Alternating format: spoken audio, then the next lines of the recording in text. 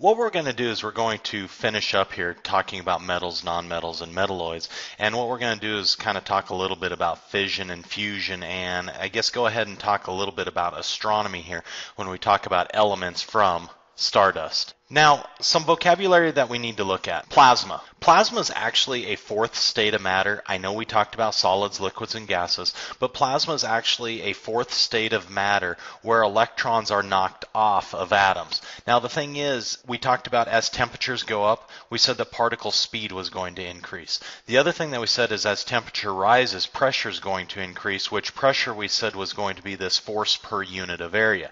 What I want you doing is I want you thinking about the collisions that are going to occur at about 5,000 degrees Celsius. Those particles are going to be moving around extremely quick.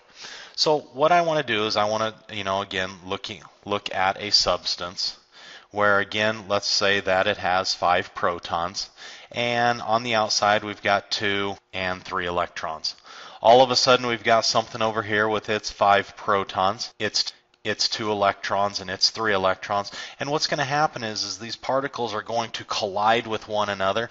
And what you might have over here at the end is you might have, again, notice the five protons, but instead of having those three electrons on the outside, you know, this one might have one electron, electron floating here, and an electron floating here. Maybe here's the other one with its five protons, you know, again, two electrons, and maybe it has, you know, three electrons that are just floating around somewhere else. What we're saying is those collisions are violent enough to actually knock particles away from that actual atom itself. Nuclear fusion is the process of atomic nuclei combining to form a larger nucleus. Again, we have two or more atoms that are colliding together that are getting the nuclei to combine to form a single larger nucleus. The sun, the fuel of the sun is going to be hydrogen. And what we're saying is when two hydrogen molecules collide, those nuclei combine, and that single nucleus that's going to be formed is helium. Now again, all I'm going to do is I'm going to focus on the nucleus. I'm not going to look at the electrons and things like that. So we're going to have a hydrogen atom here with its one proton, and again, we'll just go ahead and have that electron out there. There's another hydrogen atom with its one proton and its one electron also.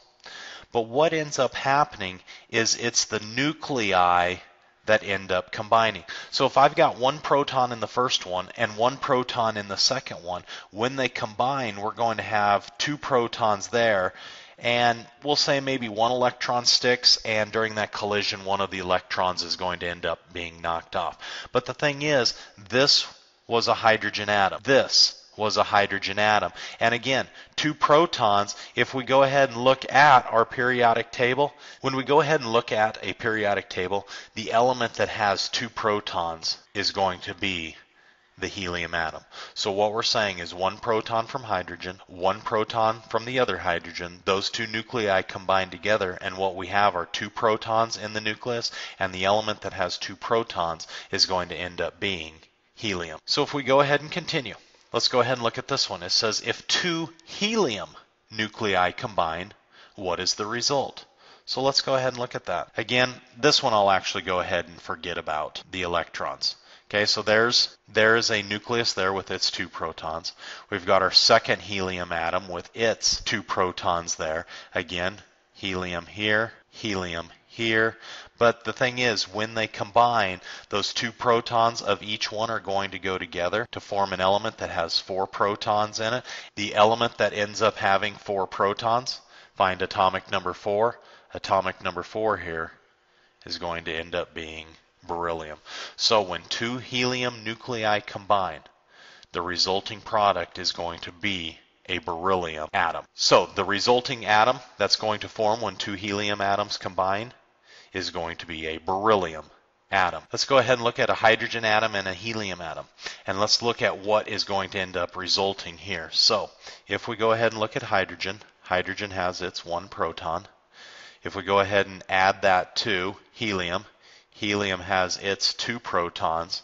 So one proton and two protons is going to be a nucleus that has three protons. If we go ahead and look at the periodic table, the element that has three protons atomic number three, is lithium. So the resulting atom there is going to be a lithium particle. Beryllium atom and a helium atom, and they fuse, what will the result be? So, beryllium. When we look at the periodic table, beryllium has four protons. So beryllium. Beryllium ends up having four protons. So beryllium, four protons. We've already talked about helium. Helium has two protons. And if we go ahead and add those together, the result is going to be six protons.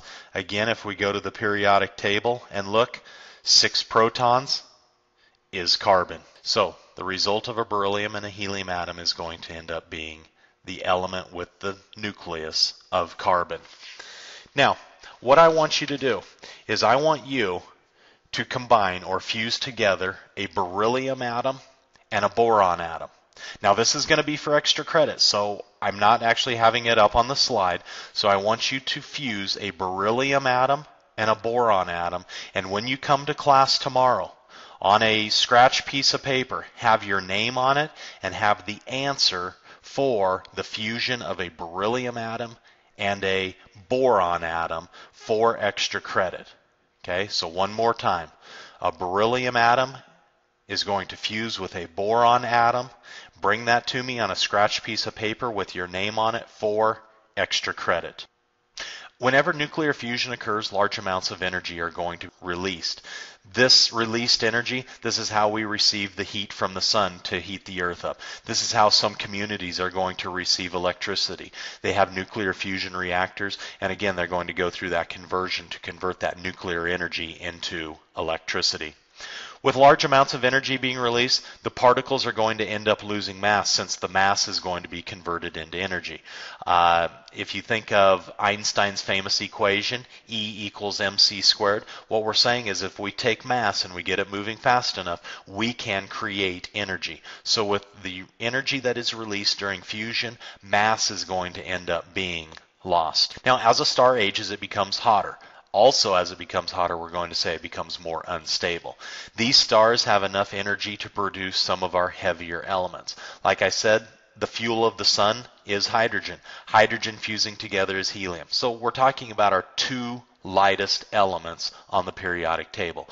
But again, on some of your hot stars, they are producing these heavier elements like magnesium and silicon.